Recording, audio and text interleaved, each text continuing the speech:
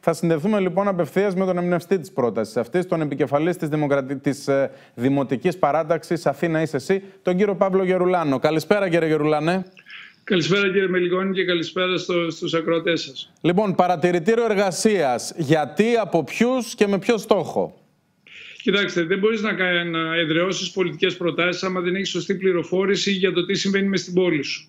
Και αυτό που είναι δυσάρεστο είναι ότι αυτή τη στιγμή για το Δήμο της Αθήνας δεν υπάρχει πουθενά καταγεγραμμένο ούτε ποιοι δουλεύουν στην πόλη, ούτε ποιοι από αυτούς ζουν εδώ και ποιοι ζουν μακριά, ούτε ποιοι θα χάσουν τις ε, θέσεις εργασίας τους μέρες που έρχονται, ε, πόσοι από αυτούς θα χάσουν τα δικαιώματα της εργασίας τους, πόσοι δηλαδή θα καταστρατηγηθούν τα δικαιώματα της εργασίας τους.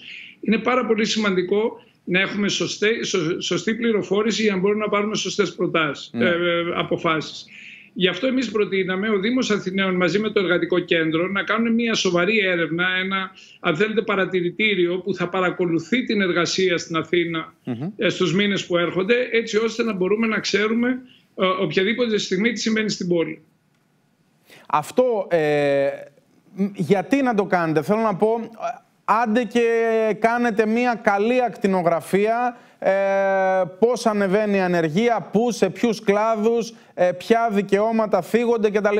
Τι μπορεί να κάνει ο Δήμος της Αθήνας περαιτέρω; Ο Δήμος της Αθήνας πρέπει να ξέρει ακριβώς γιατί δημιουργούνται οι χάνονται θέσεις εργασίας. Δηλαδή, τι γίνεται σωστά μέσα στην πόλη, τι γίνεται λάθος, τι, ναι. τι κίνητρα μπορεί να δώσει μέσα από τα ναι. δημοτικά τέλη ή με, με άλλους τρόπους, γιατί δεν είναι μόνο, ε, μόνο αυτά τα εργαλεία του Δήμου.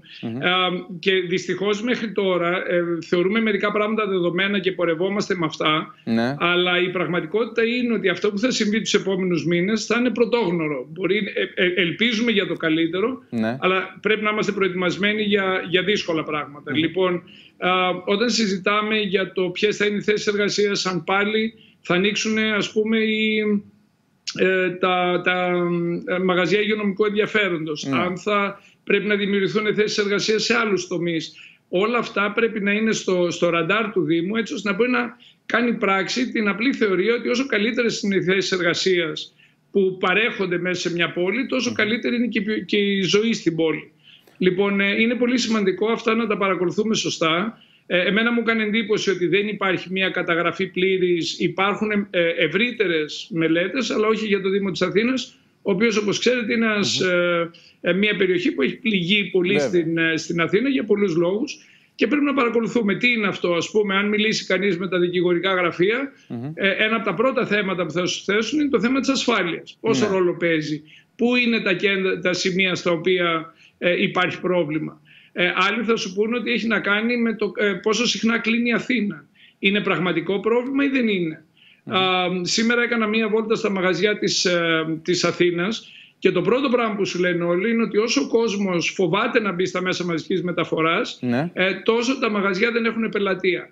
Αυτές λοιπόν οι σχέσεις είναι σχέσεις στις οποίες μπορούμε να βοηθήσουμε. Ε, όπως καταλαβαίνετε, το να λέει η κυβέρνηση ότι μην μπαίνετε στα μέσα μαζικής μεταφοράς και κατεβείτε με το αυτοκίνητό σας δεν βοηθάει. Ναι. Διότι ε, όπως καταλαβαίνετε το κέντρο της Αθήνας ε, βασίζεται και σε πάρα πολύ κόσμο που έρχεται απ' έξω. Μάλιστα. Κύριε Γερουλάνη, σας ευχαριστώ πάρα πολύ για την ε, συζήτηση που είχαμε. Καλό σας βράδυ. Και εγώ σας ευχαριστώ. Καλό βράδυ.